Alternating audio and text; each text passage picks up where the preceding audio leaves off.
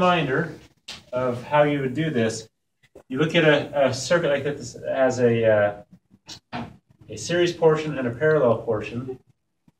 You can't solve it without first knowing what the total resistance of the parallel portion is. Does that make sense? Mm-hmm. So we've got to take and figure out what this is. And the easiest way that I found to do this is to just put some imaginary numbers in here. So I'll say if we had 12 volts here, how many amps would flow through this circuit? Six. Six. If I had 12 volts here, how many amps would flow through this circuit? Also 6 amps. For a total of? 12 amps. For a total of 12 amps, right? Which means how many ohms is this total? One. I've got 12 volts and 12 amps. It means that this, this portion of the circuit right here is equivalent to 1 ohm, right? So it's kind of like making the circuit look like this. Draw my battery, my bulb, bulb.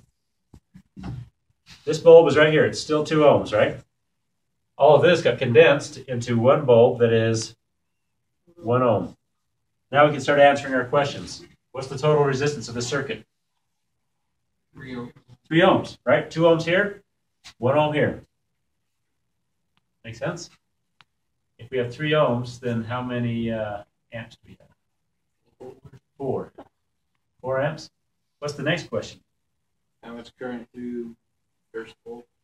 How much current through bulb 1? If we have 3 amps, what do we say? Oh, 3 ohms, sorry, and 4 amps, how much of that goes through bulb 1? All of it. All of it.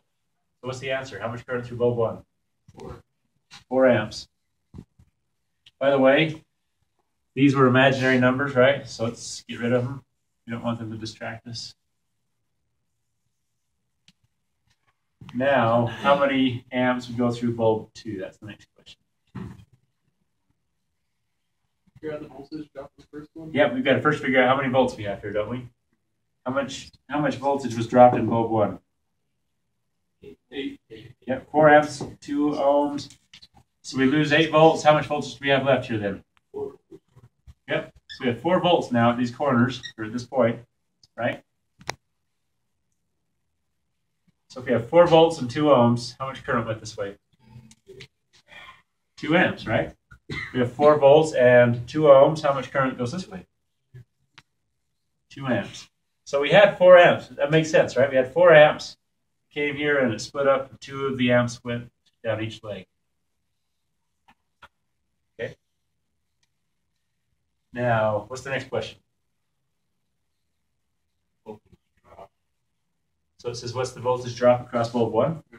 We've already answered that. How much voltage was dropped across bulb 1? 8 volts. 8 volts. How much voltage is dropped across this bulb? 4. Yeah, all 4 volts gets dropped here, or 2 times 2, right? How much voltage is dropped across this whole leg? 4 volts, but how much across each of these? 2. 2 times 1 and 2 times 1. So 2 volts here and 2 volts here. Add up to 4. Is that it? The last question is vo- voltage at point B, and of course that's here. We've already got that answer. Pretty simple, right? Sure. Sounds simple right now?